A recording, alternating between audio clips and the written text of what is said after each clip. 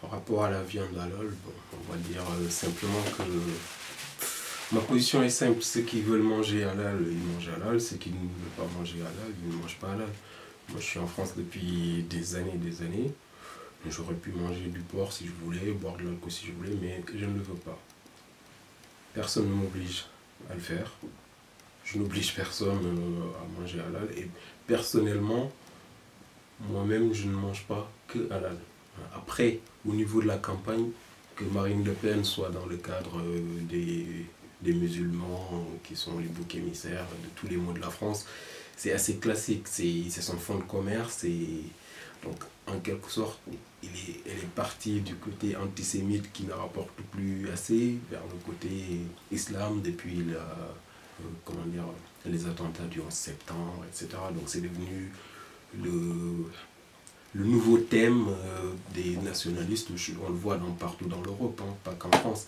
Et ils se disent, c'est là notre manière de gagner de nouveaux électeurs et d'élargir notre base. Mais le seul problème qu'elle oublie, c'est que les musulmans en France, il y en a de plus en plus qui sont français.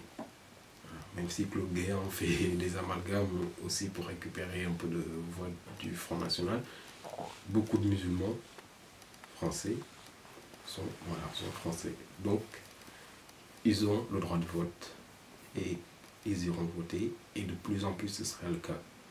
Donc je pense que dans peut-être 10 ans, ce discours ne pourra plus prospérer autant qu'il l'est en ce moment. Voilà. Et je ne pense pas que Marine Le Pen, quoi qu'elle dise, puisse venir demain, si elle était au pouvoir, virer tous les musulmans, tous les blacks, tous les arabes. Euh, j'y crois pas trop. C'est son fonds de commerce.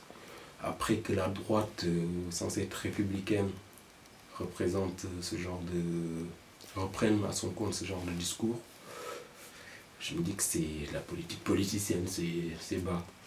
Mais c'est un calcul qu'ils font actuellement. Mais moi je suis sûr que dans 10 ans, ils seront beaucoup moins virulents sur ce plan-là parce que électoralement, ce sera peut-être moins porteur, tout simplement.